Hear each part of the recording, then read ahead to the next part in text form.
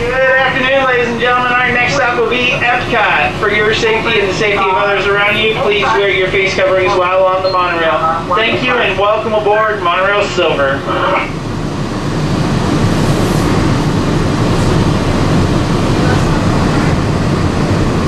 Welcome aboard the Disney World Monorail at Epcot. For those of you staying, please hold on to the around our trip stay clear of comfort of others, no smoking, please. Thank you.